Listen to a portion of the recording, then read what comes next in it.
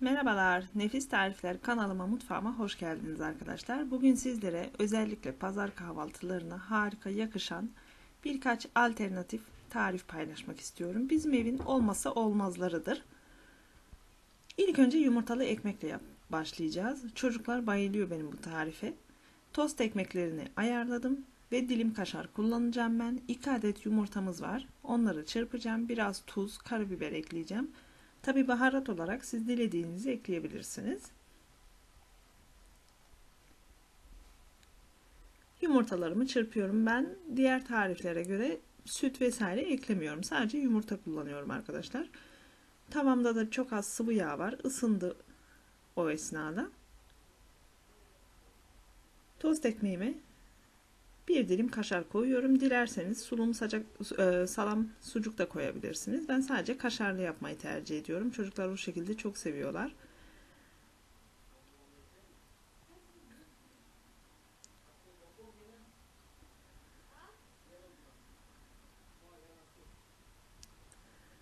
Şimdi hazırlamış olduğum ekmeği ısınmış olan tavamda kızartacağım arkalı önlü. Çok hızlı oluyor arkadaşlar. O yüzden önden hazırlarsanız sizin için daha pratik olur. Bu şekilde.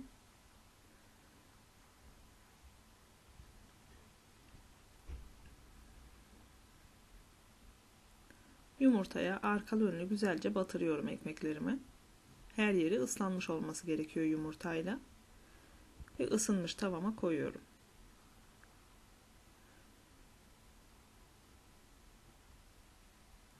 İnanılmaz güzel oluyor arkadaşlar. Kime yaptıysam herkes beğendi bu tarifi. Kolay ama herkesin sevebileceği türden bir tarif. O yüzden sizler de mutlaka deneyin. Gördüğünüz gibi çok çabuk kızarıyor zaten.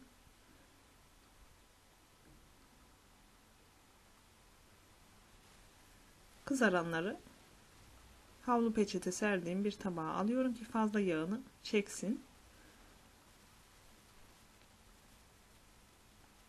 Ve diğer ekmeklerimi de kızartıyorum.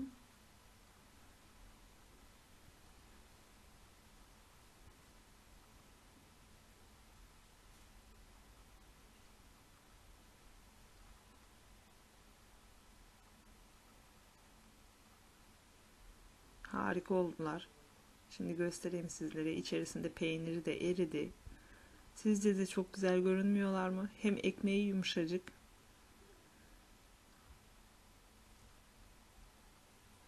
Evet bu birinci tarifimizdi. Umarım beğenerek izlemişsinizdir. Şimdi diğer tarifime geçmek istiyorum. Diğer tarifim ise kaşık dökmesi olacak arkadaşlar. O da enfes bir tarif. Böyle yerken börek tadında oluyor. Harika bir lezzet. Sizler de mutlaka deneyin diyorum ve tarifime geçiyorum. Bu da çok beğenilen tariflerimdendir. Şimdi gereken malzemeler 2 adet yumurta, yarım çay bardağı sıvı yağ, 1 su bardağı yoğurt, 1,5 su bardağı un,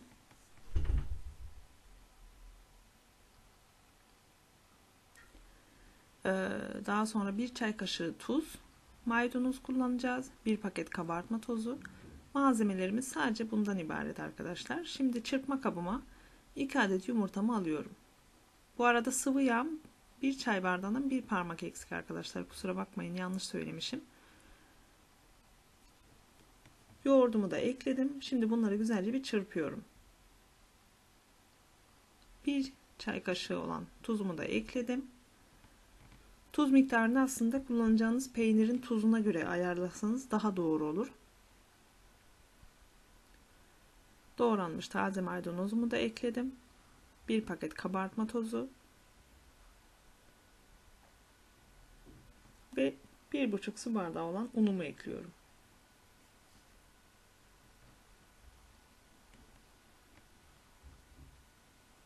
Gördüğünüz gibi kıvamı bu şekilde olmalı. Krepten vesaire koyu bir kıvam var arkadaşlar gördüğünüz gibi. Çok akışkan değil. Ama yine de cıvık bir hamurumuz olması gerekiyor. Zaten bütün malzemeleri detaylı şekilde açıklamalar kısmına ekleyeceğim bütün tarifleri arkadaşlar. Şimdi tavamı fırçayla yağlıyorum. Kesinlikle bol yağda kızartmıyoruz bunu. Tavamı ısınmaya bırakıyorum. Ve birer kaşık koyuyorum. Adı üstünde kaşık dökmesi. Ve orta ateşte yani yüksek ateşte pişirmeyin yoksa yanar. Daha sonra dikkatli bir şekilde çevirerek kızartıyoruz. Bu şekilde yani bu da çok kolay, çok pratik bir tarif arkadaşlar. Zaman isteyen, çok zaman almayan bir tarif. Her seferinde fırçayla yağlamayı unutmayın ama. Bu şekilde kaşık dökmelerimiz de hazır arkadaşlar. Bunlar da yumuşacık. Peynirin verdiği lezzet inanılmaz. Böyle yerken gerçekten börek yermiş gibi bir his veriyor insana. Ve acil durumlar için gayet kurtarıcı bir tarif bence. Yumuşacık, puf puf içerisi. Gördüğünüz gibi. Evet bu ikinci tarifimdi. Umarım beğenmişsinizdir. Şimdi sırada üçüncü tarifimi sunmak istiyorum sizlere. Bizim evin yine olmazsa olmazlarından kıymalı yumurta arkadaşlar. Çocuklar yani her gün yapsam bayılarak yerler. Özellikle bir de bazlama varsa yanında tamam yani başka hiçbir şey aramazlar. Bu tarifte belki çoğunuz biliyordur ama ben yine de paylaşmak istedim. Bir adet soğanımı küçük küp halinde doğradım tavama.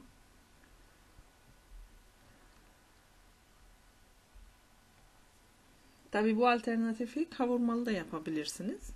Eğer elinizde donmuş veya hazırda kavurma varsa öyle de çok nefis oluyor. Şimdi soğanımı kavuracağım ilk olarak.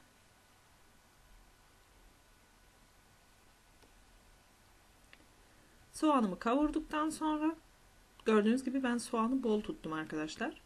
Biraz kıyma ilave ediyorum ki kıyma miktarına takılmayın arkadaşlar. Dilediğiniz miktarda ekleyebilirsiniz.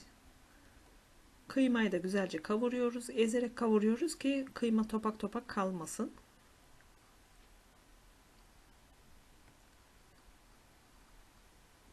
Ve ben soğanları önce kavuruyorum ki arkadaşlar diri kalmasınlar. Yani ben bazı arkadaşlar kıymada kıymayı önce kavurup soğanı daha sonra ilave ediyorlar. Ben öyle yapmıyorum. Ben sadece biberi sonradan ekliyorum. Gördüğünüz gibi küçük doğramış olduğum biberleri ekledim. Biraz da biberleri kavuruyorum. Kıymam kavrulduktan sonra. Salça eklemiyorum arkadaşlar ben. Salçalı sevmiyorlar çünkü. Ama siz seviyorsanız ekleyebilirsiniz. Biberler de kavrulduktan sonra bir parça tereyağı ekliyorum. Ekstra bir lezzet vermesi için.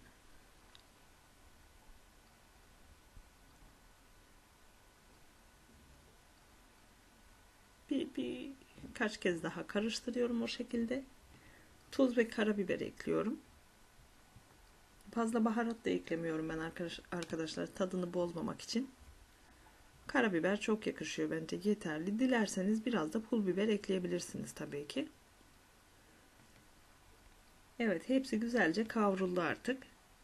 Şimdi sırada yumurtaları ilave edebiliriz.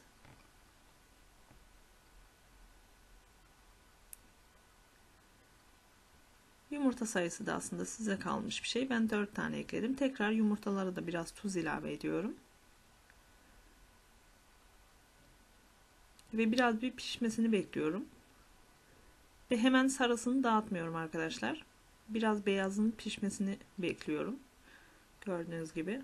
Çünkü beyazı sarıya nazaran daha geç pişiyor yumurtanın. O yüzden biraz beyazını pişirdikten sonra dağıtıyorum sarılarını. Bazen de dağıtmıyorum. Çocuklar onu ekmekle patlatmayı çok seviyorlar. Ama bugün karıştırarak pişirdim. Ama sarısını fazla dağıtmıyorum gördüğünüz gibi.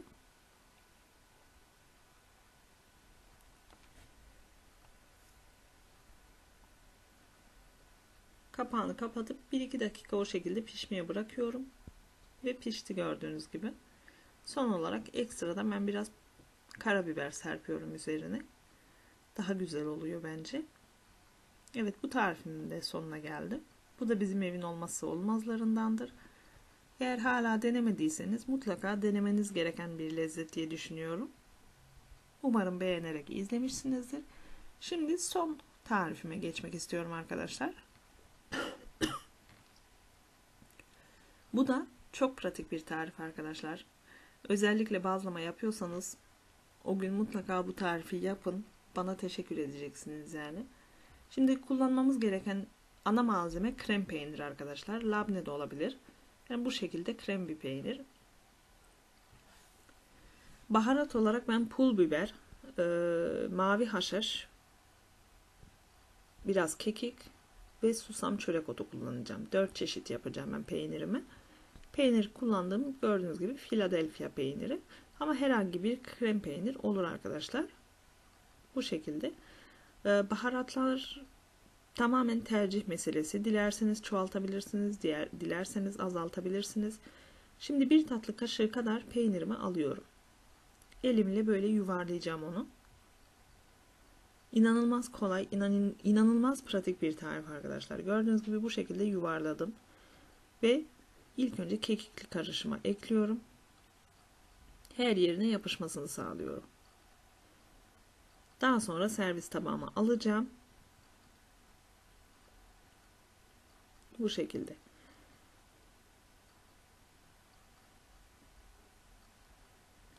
Tüm peynir toplarımı hazırlıyorum. İnanın hazır almaktan çok daha ekonomik ve çok daha lezzetli. Yani galiba sanırım Türkiye'de de vardır ama Fransa'da bu peynirler böyle hazır pakette de satılıyor. Ve inanılmaz pahalı bence. Evde yapabilirken yani niye hazır alalım? Son olarak tüm baharatları karıştırmaya karar verdim. İlk önce her birinden yaptım birkaç tane gördüğünüz gibi. Son olarak bütün baharatları karıştırdım ve inanılmaz bir lezzet çıktı ortaya arkadaşlar. Hepsinin karışımı daha lezzetli oldu sanki.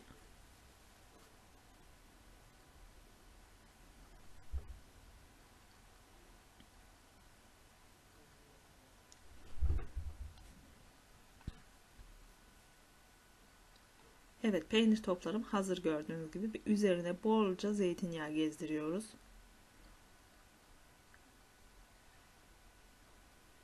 Kızarmış ekmekle veya bazlamayla inanılmaz güzel oluyor arkadaşlar. Kesinlikle deneyin.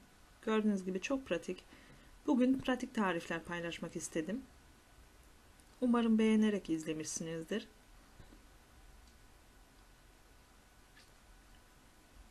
Şimdiden yapıp yiyecek olan arkadaşlara afiyet olsun diyorum. Ben o gün bazlama yapmıştım. Sizler için göstermek istiyorum kıvamını. Bazlama tarifimi paylaşmıştım ama ama eğer isterseniz bunu yorumlarda belirtin tekrar paylaşırım sizler için. Yumuşacık puf puf oluyor. O gün hatta küçük porsiyonluk bazlama yapmıştım. Bu şekilde gördüğünüz gibi inanılmaz güzel yani. Kesinlikle deneyin diyorum. Evet umarım bu videomu da beğenerek izlemişsinizdir. Şimdiden yapıp yiyecek olanlara afiyet olsun diyorum. Kanalıma abone değilseniz abone olabilirsiniz. Bir dahaki tarifte görüşmek dileğiyle diyorum. Hoşçakalın.